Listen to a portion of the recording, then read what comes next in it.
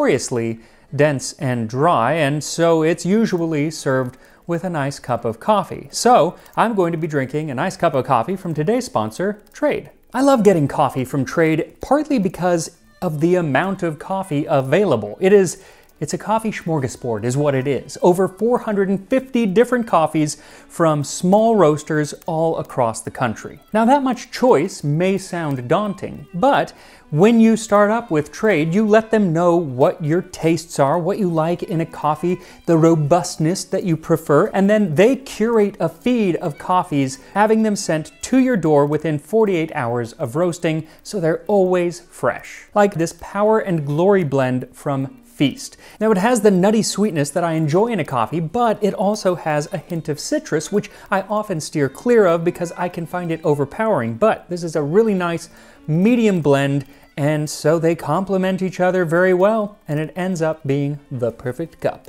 So to give Trade a try, visit drinktrade.com slash